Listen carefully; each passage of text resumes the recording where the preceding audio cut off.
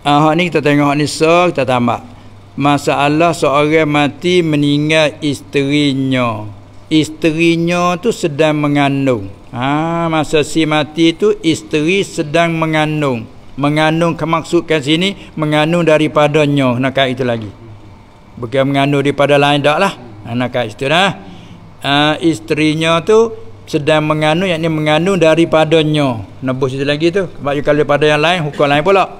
Nah daripadanya. Tak tak kalah anak membagi pesaka itu soalnya adakah kanak-kanak dalam kandungan itu disyaratkan sudah ditiupkan roh ataupun semata-mata mengandung. Nah, kerana apabila mengandung tu boleh uh, ataupun semata-mata mengandung boleh dah membagikan pesaka itu. Dah dia masalah apabila mengandung. Nah, bila mengandung dia walau mengandung sebulan, dua, tiga, empat masa tu tak tiup roh lagi lah tapi apa anak kandungnya tu daripada dia ya ma ya ulu ila akan membawa pada jadi manusia. Maka dalam syarat suruh cedek ke dia. Kena fardu takdir nak bagi kena takdir ke jatah ha nak takdir situ. Ha nak takdir tu apa bagi tak apa bagi wak dia dia.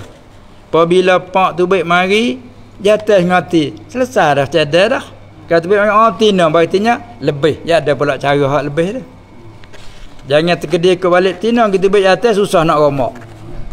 Dia boleh memilih ke milik ke mula payah lah nak ambil semula, ambil semula dah itu kan. Ha, ada lebih tak apa. Betul baik oh tina weh. Ha, boleh nispu dan sebagainya. Ataupun dua suluh nak ada dah ni masalah. Ha, itulah yang saya kena cadar situ lah. Hmm.